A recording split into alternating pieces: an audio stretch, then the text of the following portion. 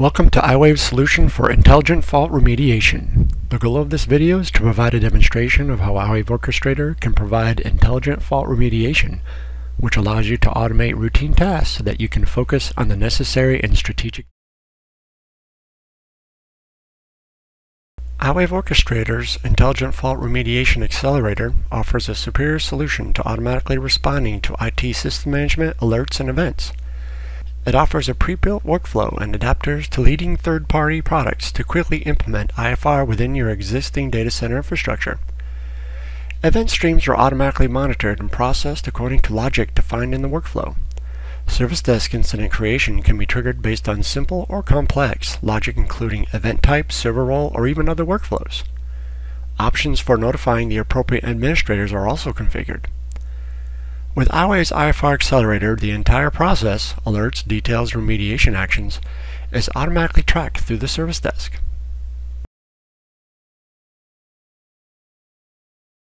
The iWave IFR Accelerator offers the following benefits. Intelligent Fault Remediation helps organizations filter out the noise from the network and enterprise management systems. Network and server events are validated against CMDB, SLA, and knowledge base databases before they become incidents in your service desk. Intelligent Fault Remediation also enables your IT organization to instantly respond to a wide array of network server and application issues, which reduces outages and keeps users happy. Pre-built accelerators and adapters allow Orchestrator to quickly snap into your infrastructure.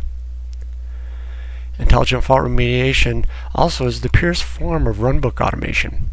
By automating responses to known IT issues, you can ensure that your prescribed solutions are applied in the correct manner and sequence. This improves availability, reliability, and makes for high customer satisfaction.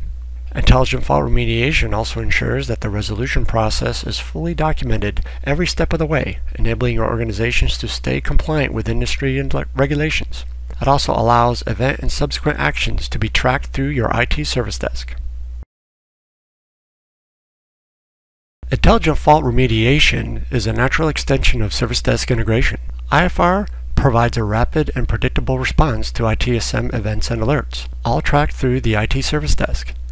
IFR is generally performed through addition of a configuration change management product or execution of an administrative script. Either option is supported out of the box by iWave's 50 plus pre-built adapters.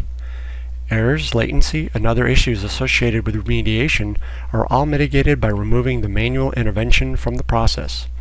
Best of all, the event and remediation details are all automatically tracked in your service desk for compliance, reporting, and analysis.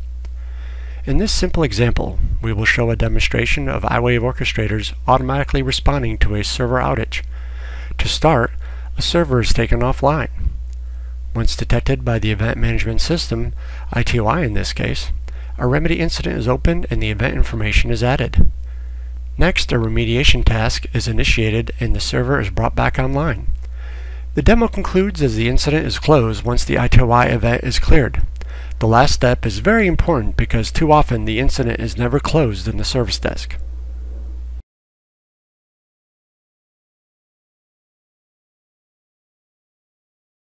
The first interface you see is the EMC Ionix IT OI interface.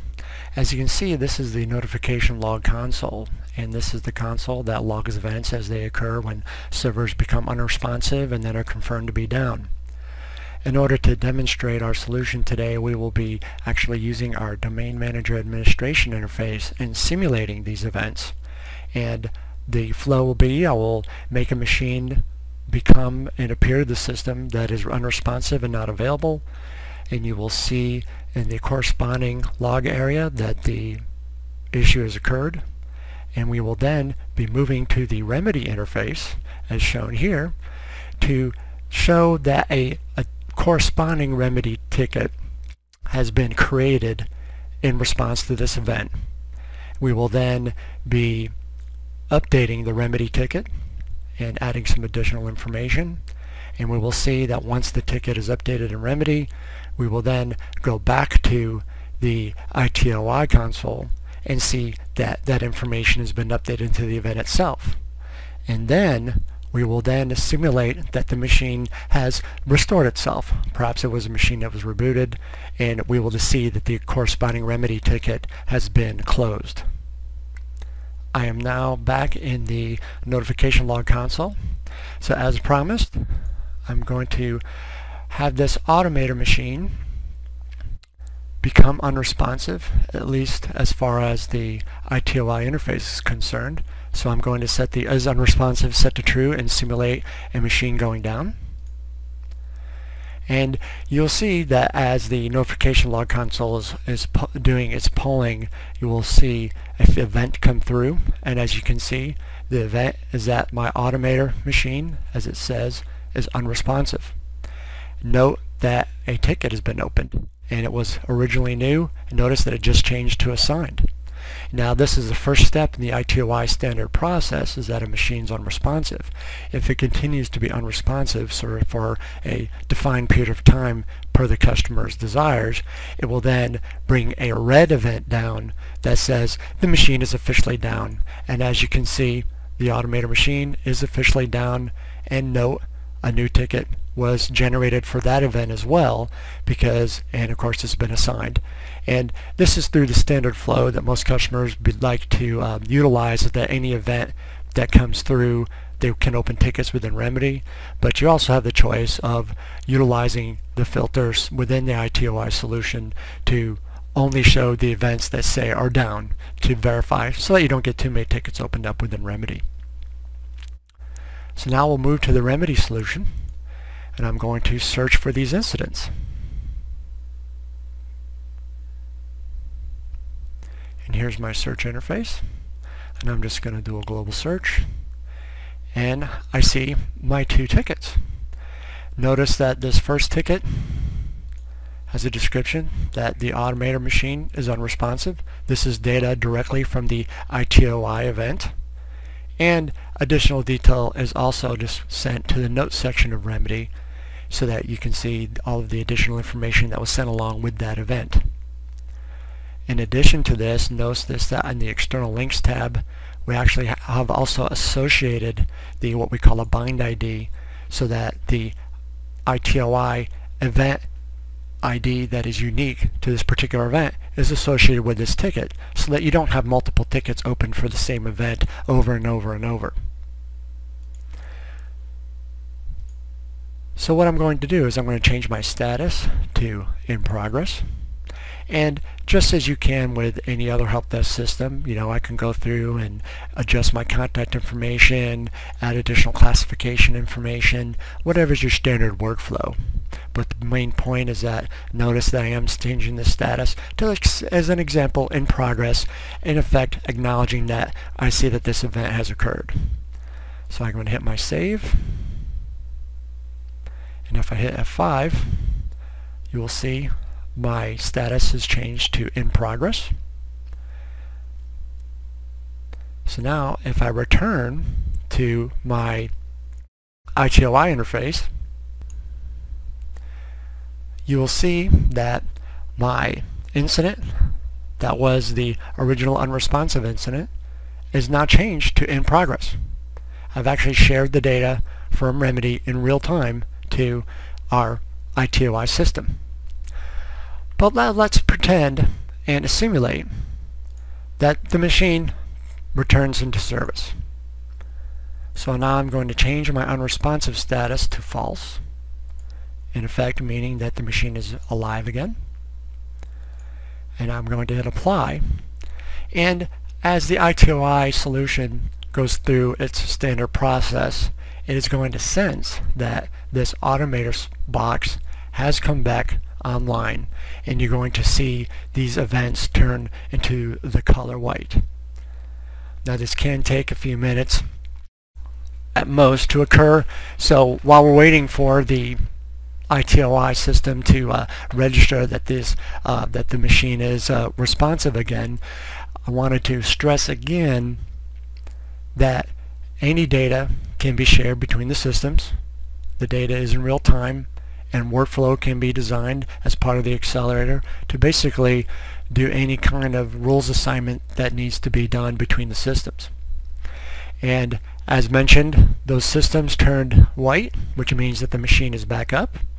So now if I go back into my Remedy console, I can hit my F5 and hit refresh. And notice that the statuses are all set to resolved in both cases. And note that when I go to my resolution field, that a little uh, note has been added that says the ITO event has been cleared. Now let's move to the actual orchestration interface and let's discuss some example workflows that were part of this solution. This is the iWave orchestration design studio part of our solution. And as you can see, I have an example of the event to incident scenario where we can see an example of the workflow that occurs between the ITOI solution and the remedy solution. And so I'll zoom in a little bit so we can see a little more detail of what's going on behind the scenes. Now this is built on the Eclipse platform and we're an object-based model solution.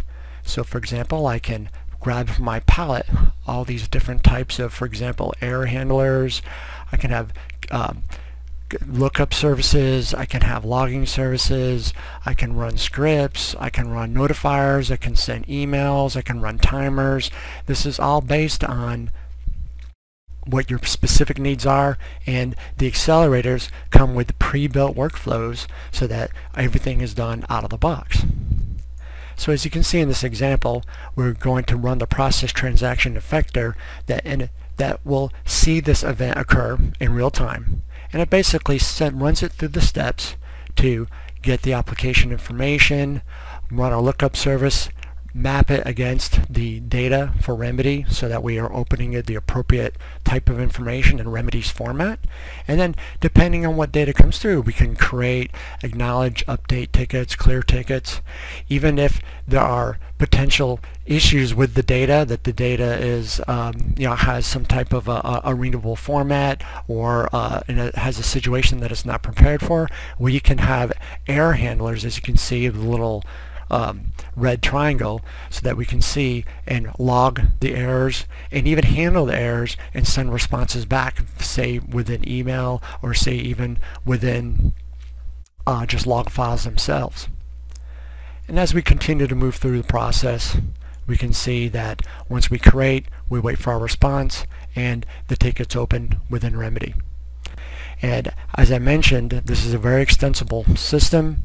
While the accelerators are out of the box and are working solutions that can be implemented in very short periods of time, it is a very open system so that you can make adjustments to the workflow to meet your specific needs by, as I mentioned before, picking specific things in the palettes. For example, if I wanted to run an emailer type action, I can just select it, and then as you can see, I can just select it into the pluses wherever pluses appear, which means it's an open area of the workflow where I can interrupt it and add that information through. This concludes our demonstration of iWave's solution for intelligent fault remediation. For more information on intelligent fault remediation, contact iWave Software Sales or refer to the following links on iwavesoftware.com.